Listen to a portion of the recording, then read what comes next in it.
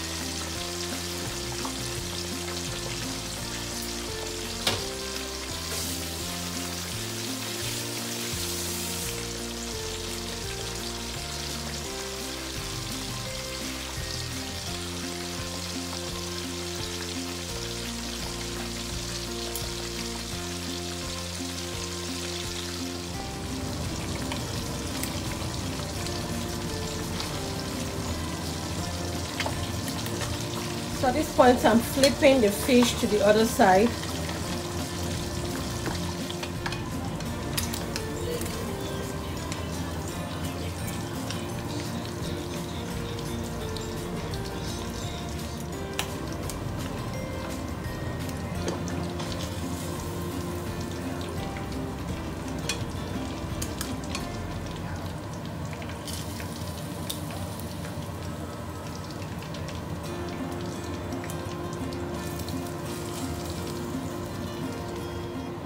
So friends i'm done frying the fish. Next is to start frying the chicken